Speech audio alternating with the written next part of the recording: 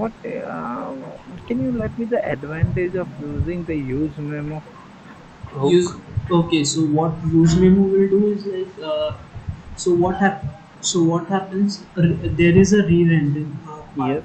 so there is a uh, you can say suppose a data is there and it has been updated to the same value so in that case there is no need of re-rendering Mm-hmm. so to avoid that we use use memo Okay. Okay. Uh, then what is the need of using the use callback? use callback is used to return the memoized function that is the main difference it returns memoized value whereas it returns memoized function Okay. Uh, good. Mm, Okay. If like uh, what I want, if I have a few of the components. Okay. Uh, that uh, then there is a parent, then the child, then the sub-child, the sub-child likewise. okay Okay. Uh, at the last component. Okay, which is my uh, nth sub-child component. okay Okay. I want to pass my data to the main parent. okay Uh, from uh, uh, like to and the lowest component yes, yeah, uh, and to to the most upper one. okay from lowest to uppermost you mean Yeah, uppermost. Yeah. uh, like uh, do you want like uh, hierarchical way or like directly Uh, you can say if you are knowing both ways, you can give answer in as a both, or if you are knowing the single way, then then uh, that all will also be fine. we can do callback function Okay. uh, we can do with the help of redux as well Okay. and So context context one. Okay, fine. yeah So can you uh, elaborate the redux one? so redux what happens is uh, there is a store Mm-hmm. so uh, in that we will we will keep the data so that each and every component will have direct access to avoid that hierarchical uh, like way so what happens uh, like we go in a hierarchical way one by one component Okay. so to avoid that we use redux so Okay. we can have direct access to it uh, okay. Uh, what's the, what is the need of using the reducer?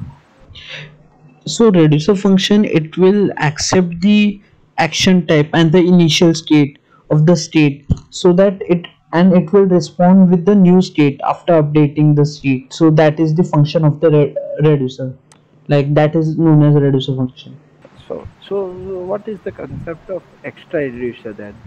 extra Extra reducer. extra reducers allows us to define more reducers so th- for that purpose we use extra reducers Okay, fine. Okay, you have used selectors. S- selectors yes Yeah. Can you elaborate? A selector it is nothing but a function which accepts the state as an argument and fr- from deriving from that state it will return the data so that is a role of the selector Okay. Have, you performed any middleware thing? yes Why there is need of uh, middleware? As we were quoted that uh, reducer will update the action and all the things, right? Yeah uh, why there is a need of middleware? so middleware it is a uh, you can say it is an intermediate of uh, action and reducer. So it is used to like modify the data or uh, like intercept the data between the, the action and the reducer. So main mainly it is used to perform complex logic operations. So in plain uh, you can say in simple redux what we can say th- that uh, it is used to perform only synchronous operations so to perform the logic complex logic we can use this middleware Okay.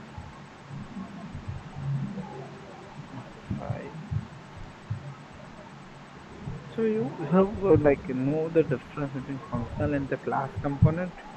a class component it it is uh, used for extending the react component like extending a react dot component whereas functional component they accepts props as an argument uh, whereas the one more difference which i can think of is uh, uh, in lifecycle methods. What we use in lifecycle methods is component did mount, component did update, and component will unmount. Whereas we use the hook use effect for the uh, lifecycle methods.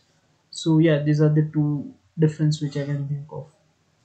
But uh, the functional components they are very simpler as compared to React uh, class components. Okay. Uh, which React version you are using currently? As it was 16.2. Okay. So is, is it necessary to update um the the packages every time? Uh, if we want newer features, then yes. If not, then we can. Is, is it the only reason?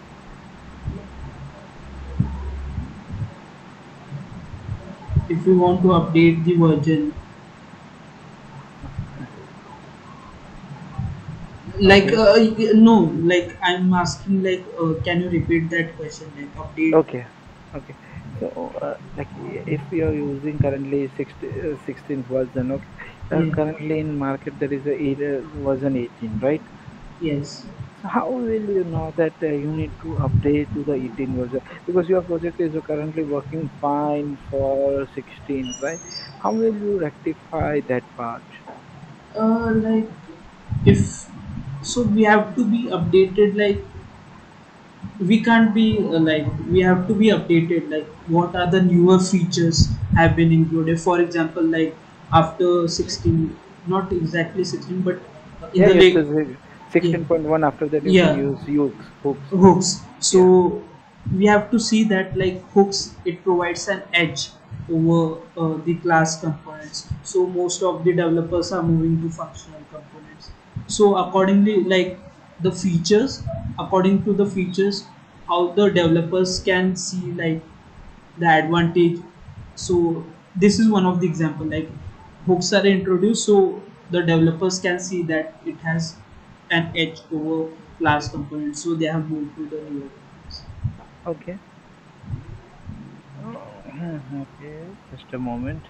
Have you Redux Thunk? Have you used Thunk, Thunk or Saga? saga saga Okay. What is basically Redux Saga? so uh, the redux to uh, like the redux saga it, what it will uh, help is it will allow or it will help redux to to interact with the resources asynchronously so what uh, what in short what we can say is like uh, it offers the control over asynchronous action So uh, you are you are known as knowing the dependencies in the packaging, right? yes Okay. There there are three parts. Like there are versions, right? Like for example, 1.1.0, yeah right? What does that every one and the zeros mean? You know the part? 1.1.0 for example, like there is a React is 16.0.1, right? yeah Or 16.1.0. yeah got it yeah Okay. What is the meaning of 16, then 1, and then 0? so if if you want to keep it in sequence then we will uh, like keep major then minor and then pack Okay, fine. So th- uh, you have you like have you you have seen like my, my main question was like you have seen like this. I'm writing in the okay right the first symbol. Do you know what does that mean?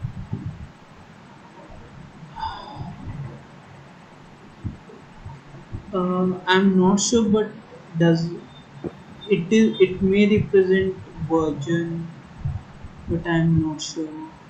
Okay, fine. Okay. I have used Formik. Formik is a third party library. Yeah, so it what it helps is to like it avoids the repetition of uh, repetition uh, that which we like we can decide how much we want to use. So with the help of Formik library, it helps. Okay, so I'm good with my part. Okay,